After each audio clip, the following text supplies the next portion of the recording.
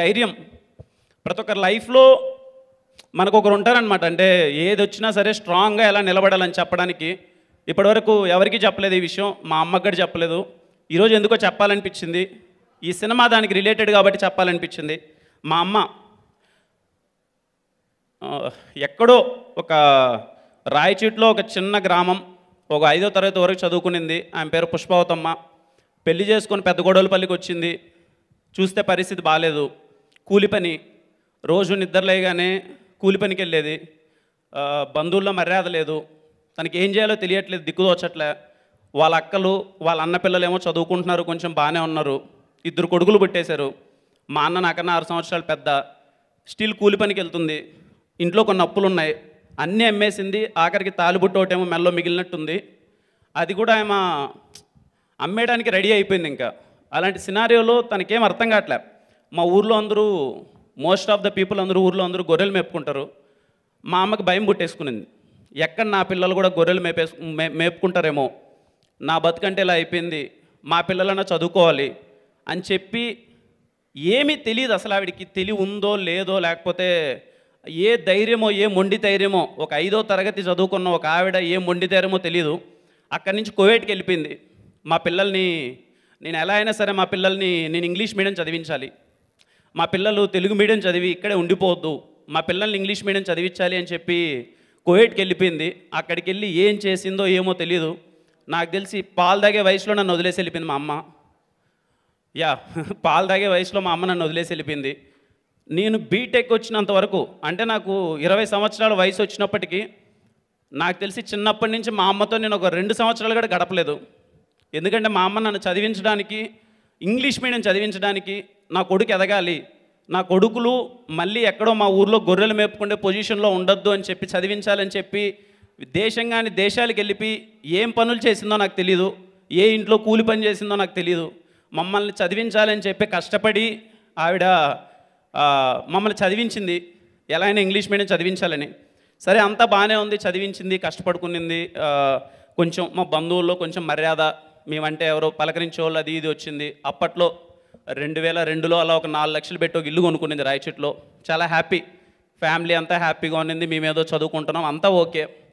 తను సంపాదించడం ఆపేసి తను ఇక్కడే సెటిల్ అయిపోయింది. హ్యాపీగా ఉంది. ఇంకే నాకు ఇద్దరు కొడుకులు ఉన్నారు కదా. బాగా చూసుకుంటారు. ఇద్దరు బలమైన కొడుకులు ఇద్దరు బాగా చూసుకుంటారనే ధైర్యంతో ఉంది.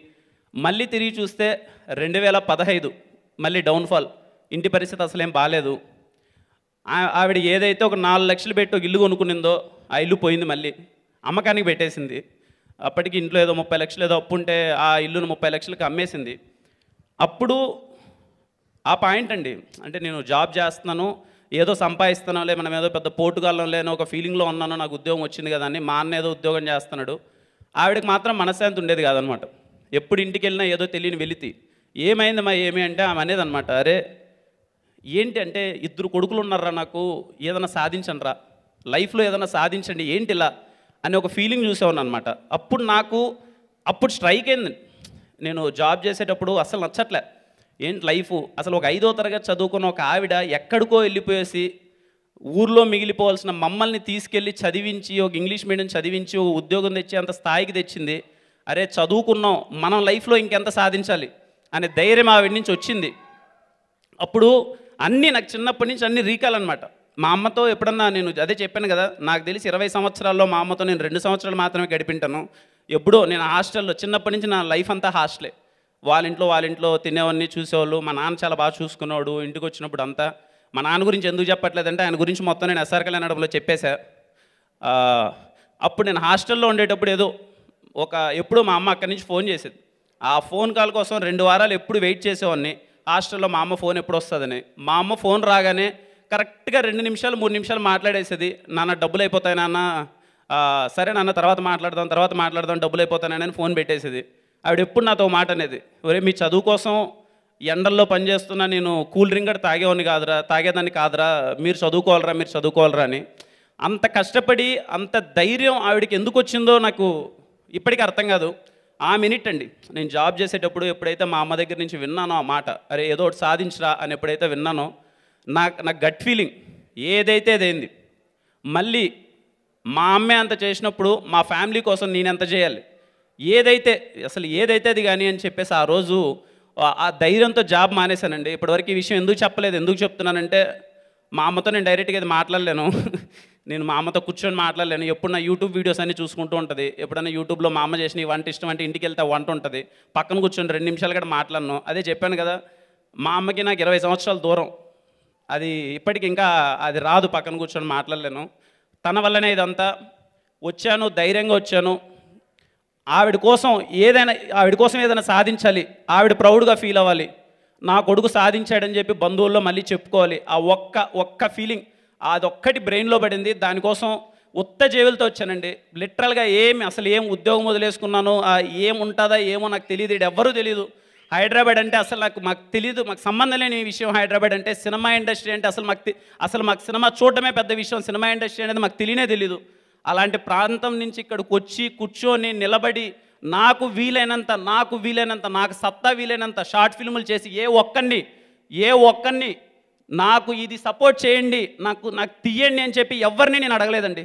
నేను ప్రామిస్ చేసి చెప్తున్నా రాజావర్ రాణి గారు నాకు మనోవికాస్ అని ఒక వ్యక్తి ఒక ఇరవై నాలుగేళ్ళ కుర్రాడు నాకు అవకాశం ఇచ్చాడు ఒక అరవై లక్షలు పెట్టి. రాజావర్ రాణి గారు తీసుకున్నాను. తర్వాత ఎస్ఆర్ కళ్యాణ మండపం తీసుకున్నాను. ఎస్ఆర్ కళ్యాణ మండపం ఇదిగో మా మామ ఉన్నాడు సిద్ధారెడ్డి మామ బంధువులు వీళ్ళందరూ సపోర్ట్తో ఏదో ఒకటి సాధించాలని చెప్పి ఎస్ఆర్ కళ్యాణ మండపం తీసుకున్నాను. అక్కడ స్టార్ట్ అయిందండి. ఎగ్జాక్ట్లీ అక్కడ స్టార్ట్ అయింది. ఎందుకు మాట్లాడతాను ఇంతసేపు అంటున్నానంటే ఈ వన్ ఇయర్ వన్ ఇయర్లో చాలా చూసి అక్కడ స్టార్ట్ అయింది. ఏంటి కిరణపూరంతో మీకు ప్రాబ్లం? అసలు కిరణపూరంతో మీకు ప్రాబ్లం ఏంటి? ఎన్ని క్వశ్చన్స్ వస్తాయి ఎన్ని నేను దాటాలి మనిషిని? ఒకడు ఎంపీ కొడుకు అంటాడు. చెక్ చేసుకోడు. రియాలిటీ వాడికి ఉండదు. ఒకడేమో పొలిటీషియన్ కొడుకు అంట బాగా బలిసినోడు అంట అంటే. అన్నా ఊరికి వెళ్తే చెప్తున్నా కదా నా కూలి పని చేసుకున్న స్థాయి నుంచి ఇక్కడ దాకా వచ్చామన్నా ఏంటి ప్రాబ్లం కిరణపూరం ఎదగకూడదా?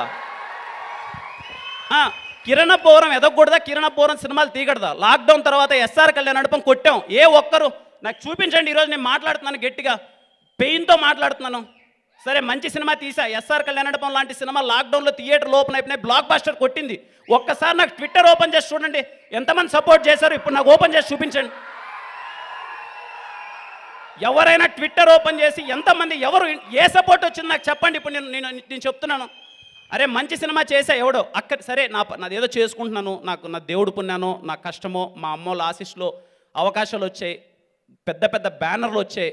చాలా గర్ చాలా చాలా కసితో కోపం చాలా క- దాన్ని ఏమంటారు? ఏదో సాధించాలరా అన్న ఒక తపనతో ప్రతి ఒక్క రోజు కష్టపడేవాడిని ఏదో చేయాలని చేసేవాడిని. నాకు అందరూ అవకాశాలు ఇచ్చారు పెద్ద పెద్ద బ్యానర్లో చేశాను.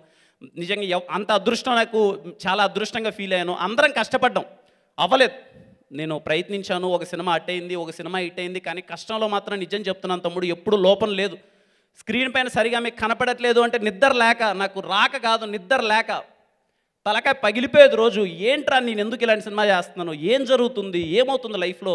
ఏదో చెయ్యాలి కదా గట్టి చెయ్యాలి కదా అని చెప్పి మొత్తం పరితపించేవాడిని మొత్తం.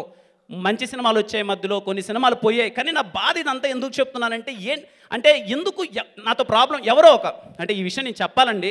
ఈ విషయం నేను చెప్పిన తర్వాత వాళ్ళు నా మీద మళ్ళీ పగ్గడతారని కూడా నాకు తెలుసు. అయినా సరే నేను చెప్తాను.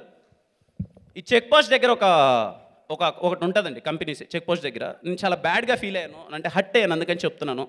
ఏదో షార్ట్ ఫిల్మ్స్ నుంచి వచ్చాను నా నా పని ఏదో నేను చేసుకుంటూ వెళ్తున్నాను. ఓకే సంవత్సరానికి రెండు సినిమాలు వచ్చాయి మూడు సినిమాలు పక్కన పెడితే నా మీద వాళ్ళ సినిమాలో ట్రోలింగ్ చేశారండి. నా మీద. ఏమైనా సంబంధమా? నా మీద మీరు ట్రోలింగ్ చేయాల్సిన అవసరం ఉంది సినిమాలో? అంటే కొంచెం అన్న నేను రిక్వెస్టింగ్ అని అడుగుతాను. ఎందుకన్నా మీకు నా మీద? నా పని ఏదో నేను చేసుకుంటాను. ఏ రోజున మిమ్మల్ని ఏమైనా అడిగానా ఏంటి? నా మీద సినిమాల్లో డైరెక్ట్గా ట్రోలింగ్ కనీసం నాకు ఇన్ఫర్మేషన్ లేదు. బ్రో కిరణ్ బ్రో మీ గురించి ఇలాంటి ఒకటి సినిమాలో వేద్దాం అంటే నాకు ఎక్కడో నా ఫ్యాన్స్ ఎవరో చూపించి బ్రో మరీ ఏంటి బ్రో నీ గురించి సినిమాలో కూడా ట్రోలింగ్ చేస్తున్నారు బ్రో నీ గురించి అంటే నేను రిక్వెస్టింగ్ అడుగుతున్నాను. ఎందుకన్నా నా గురించి మీరు మీ సినిమాలో నా గురించి ట్రోలింగ్ వేసేంత మిమ్మల్ని నేను ఏం చేశాను మీకు నేను? నా సినిమాలో నేను చేసుకొని వెళ్తున్నాను. ఓకే ఎవరికి హిట్లు లేవు ఎవరికి ఫ్లాప్లు లేవు. ఎవరికి హిట్లులో నాకు అర్థం కాదు. అరే four years within four years నాలుగు సంవత్సరాలు అయిందా? రాజావర్ రాణి గారు ఎస్ఆర్ నడపం సమ్మతమే వినరో భాగ్యం విష్ణు కదా. ఎంత పెద్ద హిట్టో పక్కన పెడితే మేడ్ డీసెంట్ ఫిలిమ్స్ ఎనిమిది సినిమాలలో నాలుగు డీసెంట్ ఫిలిమ్స్ అంటే is not a failure actor నాలంటోడైతే అస్సలు ఫెయిల్యూర్ యాక్టరే కాదు. మాకు సినిమా తీసి థియేటర్ వరకు సినిమా తీసుకురావడమే నాలంటోడికి సక్సెస్ రిమైనింగ్ ఇవన్నీ తర్వాత విషయాలు. చాలా నాకు మీడియా వాళ్ళు చాలా సపోర్ట్ చేశారు. చాలా అందరూ నేను అంటే నేను ఎవరిని ఏమనట్లేదండి. నా నా ప్రాబ్లం నేను ఎందుకు ఇంత చెప్తున్నాను అంటే ఇప్పుడు ఏదో పెద్ద పొడి చేసిన సినిమా తీసానని నా ఫీలింగ్ కాదండి. దయచేసి ఒకరి గురించి మాట్లాడేటప్పుడు ఒక వ్యక్తి గురించి ఏదన్నా అనేటప్పుడు చిన్నగా ఒక్క వన్ మినిట్ టైం తీసుకొని వాడి గురించి ఆలోచిస్తే చాలా బాగుంటుంది.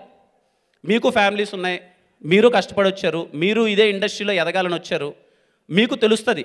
ఒక్కసారి కూర్చొని ఆలోచిస్తే ఏంట్రా వాడు అని చెప్పి తమ్ముళ్ళు yes I made bad films నేను కొన్ని కొన్ని మంచి సినిమాలు తీయలేదు. It's part of my journey రేపు కూడా అన్ని నేను మంచి సినిమాలు తీయలేను.